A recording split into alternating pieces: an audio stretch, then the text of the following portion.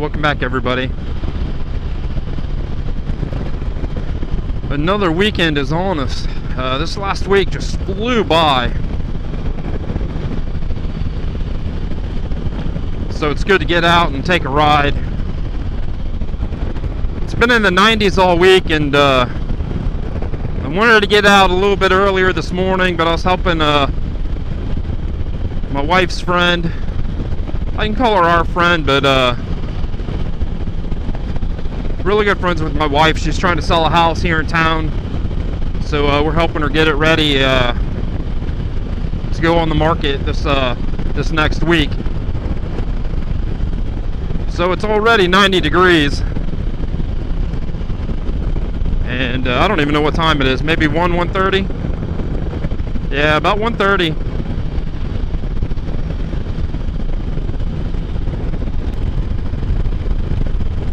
feels amazing out once that sun gets behind some clouds. But once that sun comes back out, it's pretty hot. I thought uh I thought I did a decent job uh taking care of myself in the heat. You know, it gets in the 90s in the summer in Ohio, so I mean it's not like uh crazy hot, but it, it's not cool either. I mean, it, it gets hot. Um, a lot of humidity.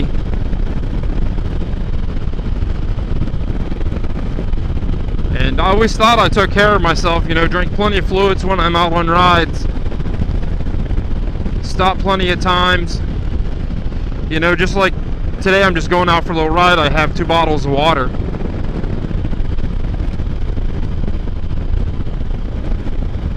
So last year, uh, I figured last year was probably going to be the only year I'm, I'm going to be able to do it. It just worked out. Um, my son, he's 20, just moved out. He was still living with us at the house. Uh, his girlfriend was coming to Florida with us. We always go to St. Augustine. Not always, but we try to get down there once a year.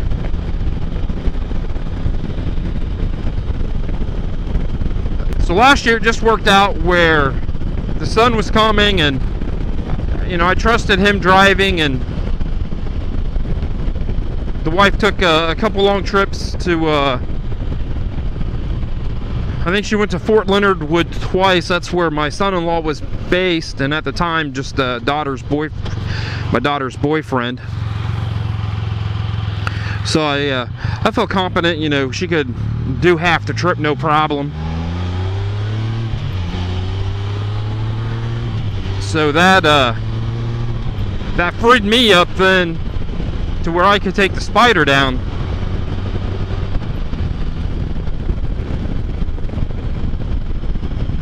You know, and it, it, it gets hot in Ohio, and I've been to Florida many times.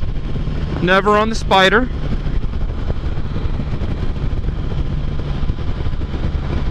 So, uh, you know, we packed the van up just like normal and uh, packed the Spyder up just like I was going on a trip. Uh, packed plenty of things, packed my rain gear and uh, a, few days worth of clothes, you know, just in case something happened. And, uh, you know, I always, I always overpack. I don't know why. Um, I guess I just want to be prepared. And uh, off we set out. And, uh,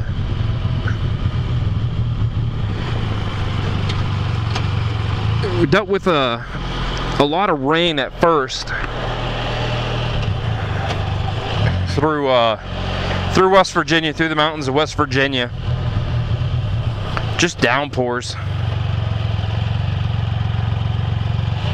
This person's gonna stop a couple times at this stop sign. There we go, two times stopping, that's pretty good.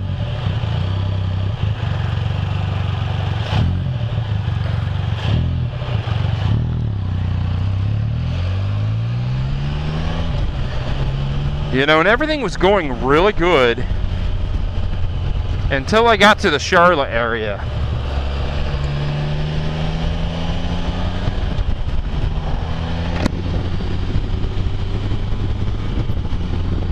And I will tell you what, there is a difference between the ride and, and, and the temperature was about the same. I mean, it, it was right around 90 degrees and 90% humidity. But there was a big difference from uh, Ohio to Charlotte, because that was our that's our halfway point, and then from Charlotte to Florida.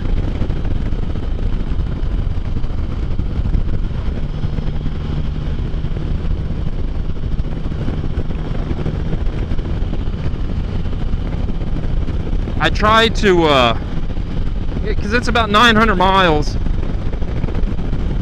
and uh, we did 440 the first day, and that's 440 the next day.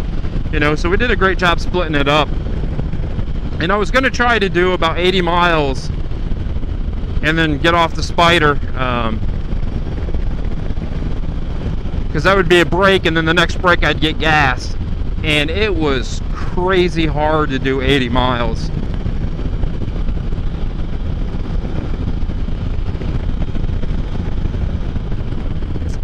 I don't know if it's because uh, the angle of the sun or if the humidity was just a little bit uh, a little bit higher but it, it took all I could do that next day to do that 400 miles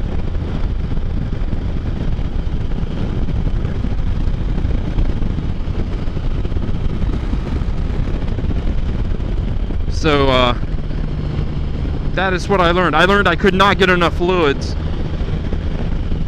and I was drinking water and Gatorade and water and I stopped and uh, stopped at a Wendy's or a McDonald's. I think it was a Wendy's.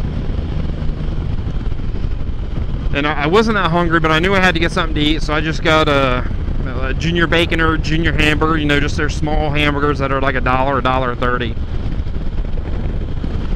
And uh, got a small drink and they had Gatorade or Powerade or whatever they sell. And uh, that half hour, 45 minutes that I was trying to cool off in the Wendy's, I probably had four or five Gatorades and I was still dehydrated. And that's not counting the, the water on top of that.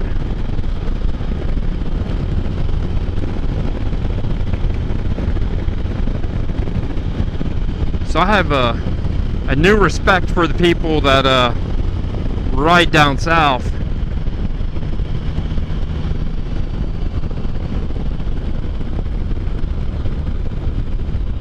Yeah, I'll get straight. Marietta Road's a, a, cool road. I'll have to, I'll have to do that one uh, here pretty soon.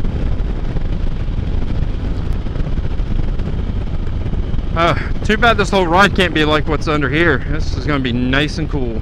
Maybe, maybe it's gonna be nice and cool. Well, maybe not. The sun's still coming through pretty, pretty good.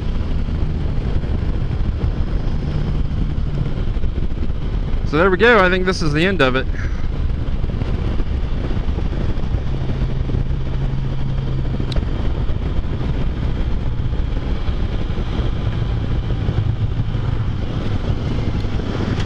So that's the end of 668. If I go that way, it's 312. It takes me back home. It's it's literally two or three miles down the road. It takes me to a small town of Bremen. Up, should have went. Uh, we'll head up this way, and then uh, we'll maybe head over into Nelsonville.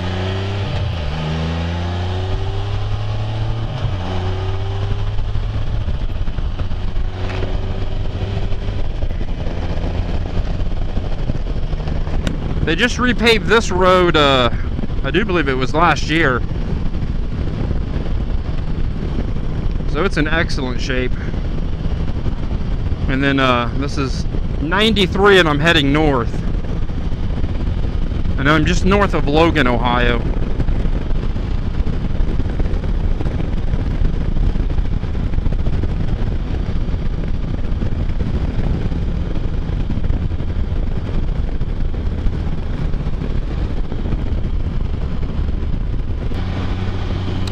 So I think that's going to be the ride today. Uh, I'm going to head down into Nelsonville and I'm going to find 33 and uh, head on back home. I'm getting a little on the hot side.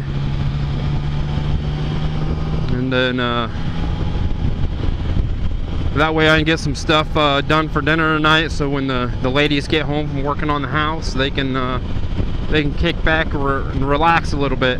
Um, the rest of this road heading down into Nelsonville is going to look just like this. So uh, everybody uh, stay safe. Thanks for watching.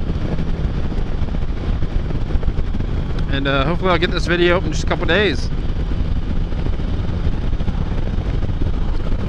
Everyone have a great day.